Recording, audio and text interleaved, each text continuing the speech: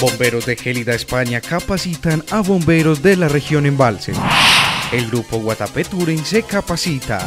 La cooperativa León 13 realiza el lanzamiento de su nuevo servicio. La Biblioteca Pública Municipal recibió visita de escritor español. Esté muy atento porque desde la empresa de servicios públicos inician el secuestro y embargo de bienes. El Pascual Bravo realiza graduación de jóvenes en tecnología eléctrica.